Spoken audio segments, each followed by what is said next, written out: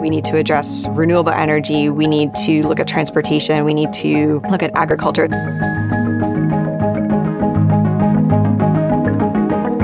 We'll have new materials that better enable us to capture carbon more efficiently. At IBM Research, we're using AI and machine learning technologies to help us accelerate the way that we discover and learn about new materials and try and reduce the amount of CO2 that we're actually releasing into the atmosphere. We're looking at sorbent materials, which are usually liquids where you have the flue gas is actually bubbling through it and it's absorbing the CO2. And then we're also looking at membranes, which actually can filter it out. There's a huge opportunity to capture the amount of carbon dioxide that's coming out of power plant flue stacks. Carbon dioxide, once it's been captured, has a couple different destinations. We can use it to create plastics or other polymers that have a lot of value.